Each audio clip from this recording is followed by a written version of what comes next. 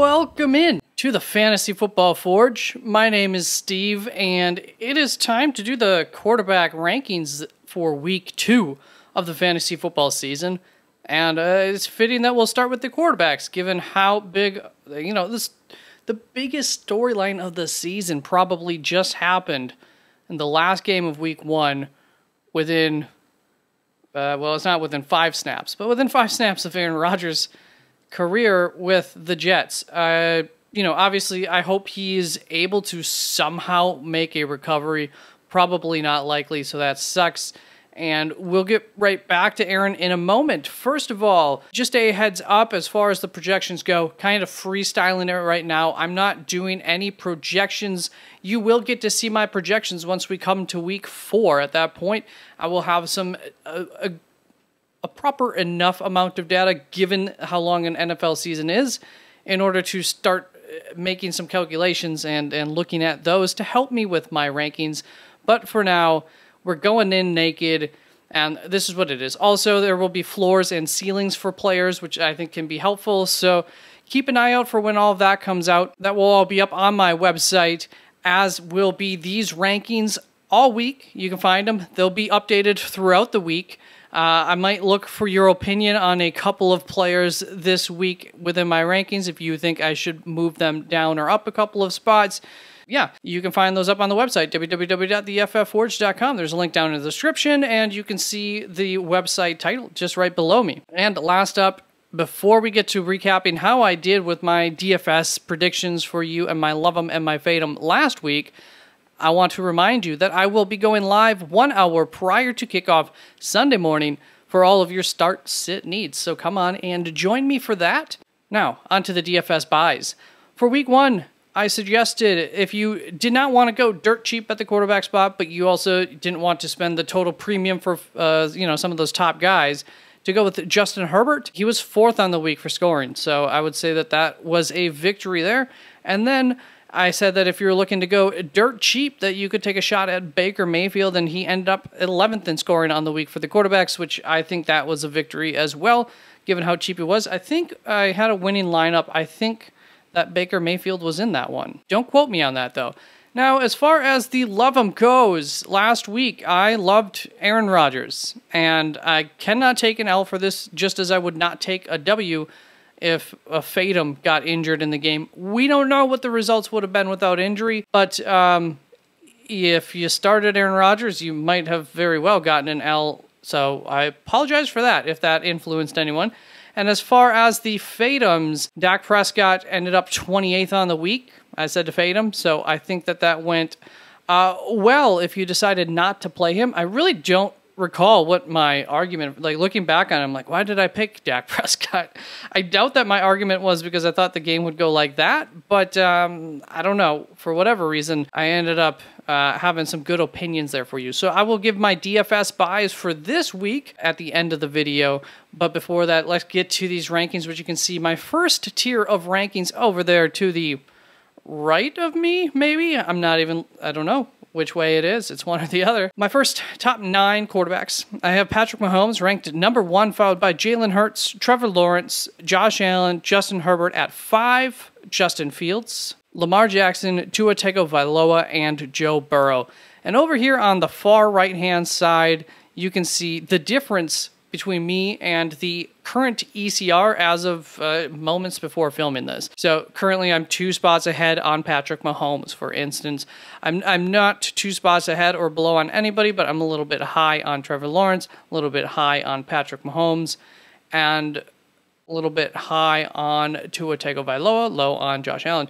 Tua's going up against New England, so don't expect what you got last week from him, but I do have enough faith in that offense that I'm going for. But, you know, maybe I should have Joe Burrow. It seems like it might be a little bit of a safer option uh, despite what happened in week one.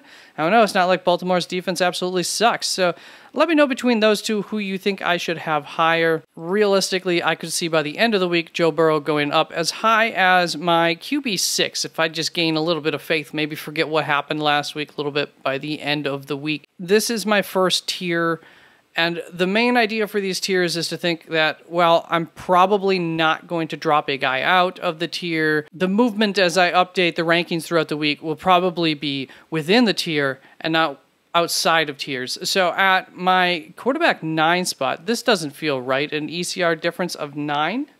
There's no way that's correct. Kirk Cousins is currently ranked 19th via ECR.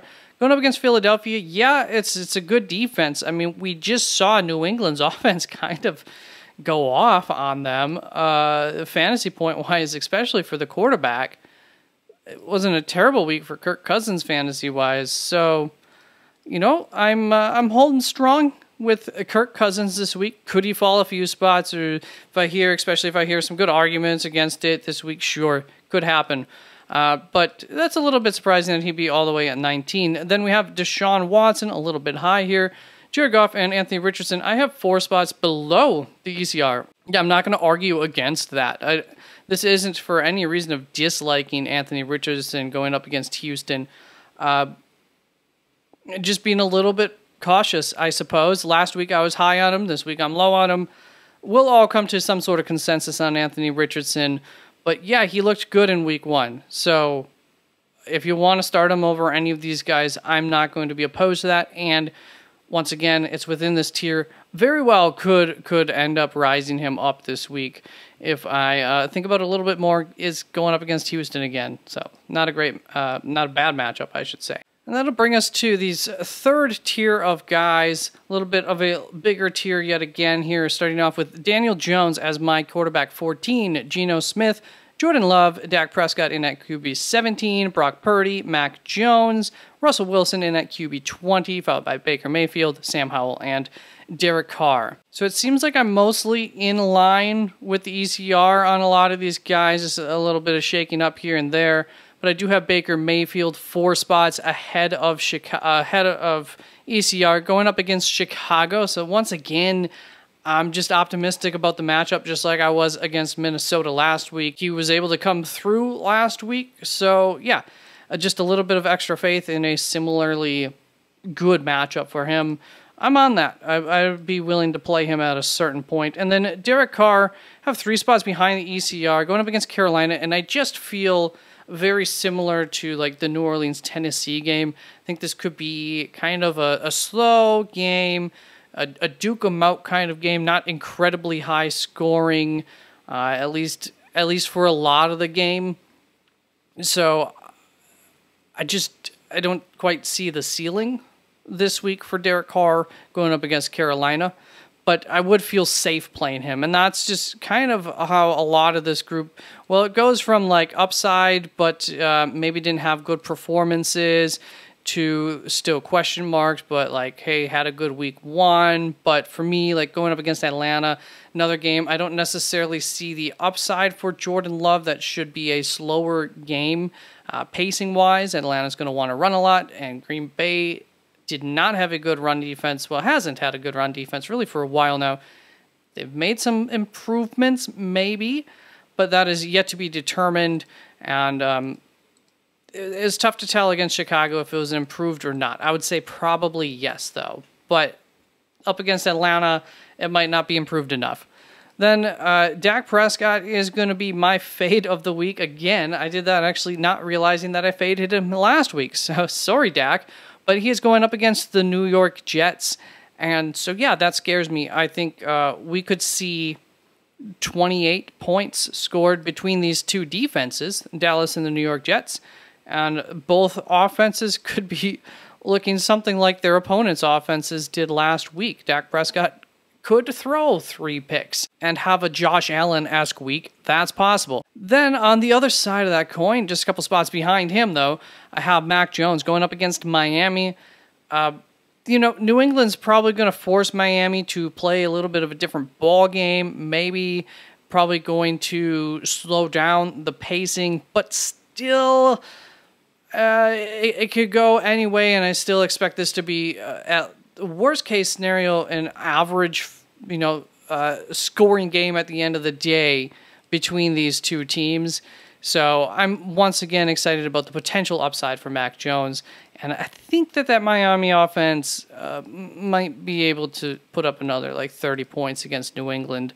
Might take them a little while to get there, but um, force New England to throw some more and whatnot. So there is my third tier. And right behind that, I have this little tier of um, guys who I'm uh, just a little bit weary to pull the trigger on.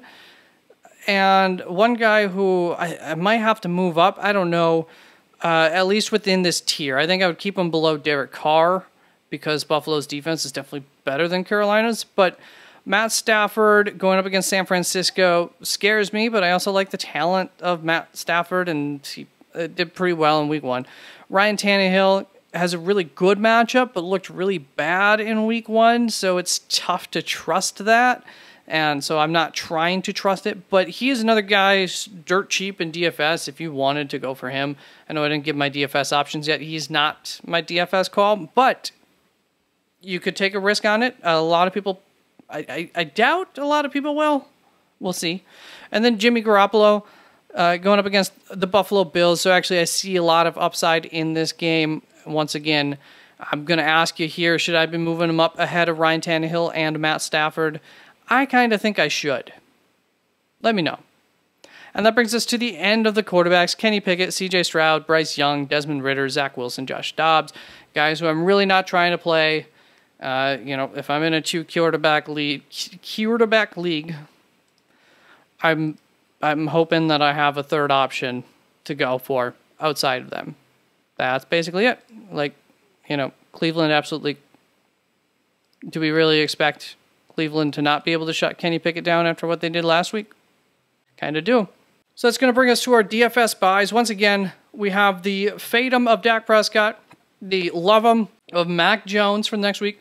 I always try, you know, I could go with like guys up here, but I try to pick guys who maybe you'll actually, that advice might come into play with and uh, take a little bit of a risk. I don't like to make the easy calls. Obviously, I love Trevor Lawrence, that's clear, but you know, I, I like to to go for it. So, speaking of Trevor Lawrence, he is my my similar to Justin Herbert last week buy. If you're not looking to pay the ultimate premium, but you're not looking to go for a cheap quarterback or for a, you know a random name, something like that, then go with Trevor Lawrence this week. I really, really like the matchup there going up against Kansas City. I think it could be a, a high scoring affair with a lot of throwing back and forth all the better if we can get Travis Kelce back for that. Then Mac Jones and Baker Mayfield are going to come in at a tie here, basically, for my. If you just want to go bottom of the barrel for the pricing at the quarterback spot on your DFS roster, they are 5,200 for Mac Jones, 5,100 for Baker Mayfield. I give a slight edge to Mac Jones as I did pick him and have him ranked higher than Baker. But uh, if you need to save that $100, because it can get you somebody else that you want somewhere else on your roster, then take a dip on down to Baker Mayfield and feel fine about it. The Baker Mayfield fart, Mart. Okay, that's obviously the end of the video. Peace out. I will see you with the rest of the ranking videos. I will come out with the probably do the running backs tonight.